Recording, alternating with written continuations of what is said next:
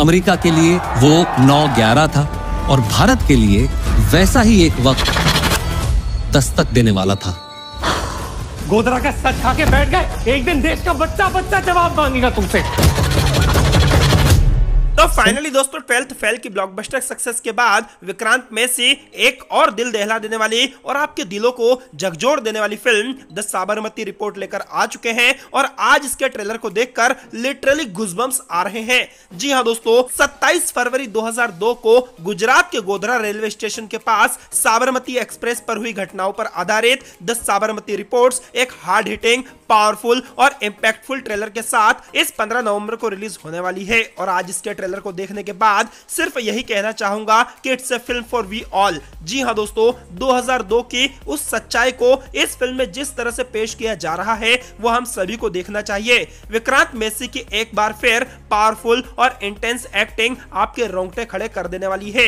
उनकी dialogue delivery और performance trailer में ही इतनी ज़बरदस्त है तो सोचिए कि बड़े पर्दे पर वो क्या कमाल करेंगे। फ़िल्म में वो आपको समर कुमार के पावरफुल रोल में नज़र आने वाले हैं। ट्रेलर में उनके साथ रिद्धि डोगरा और राशि खन्ना भी आपको देखने को मिलने वाली है। और इन दोनों ही एक्ट्रेसेस की फ़िल्म में क्या इंपोर्टेंस होगी, यह आपको ट्रेलर देख के ही अंदाज़ा लग गया होगा।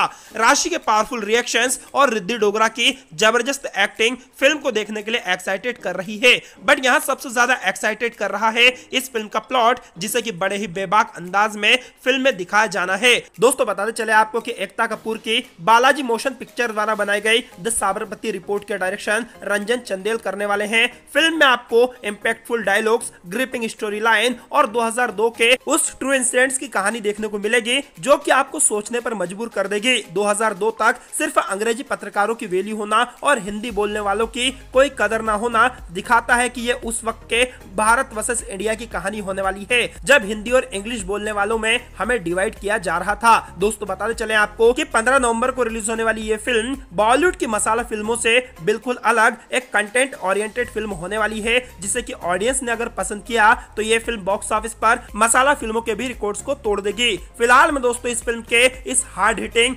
ग्रिपिंग और गुजबम्स क्रिएट कर देने वाले ट्रेलर को देखकर यही कहूँगा कि ये फ़िल्म दोस्तों आप सभी को बड़ी स्क्रीन पर देखना चाहिए, जो कि गुजरात के गोधरा में हुए उस सच्चे इंसिडेंट्स को दिखाने में कामयाब हो सकती है। आपको भी दोस्तों ये ट्रेलर कैसा लगा, हमें अपनी राय कमेंट करना बिल्कुल ना भूलिएगा। धन्यवाद, जय हिंद, जय भारत।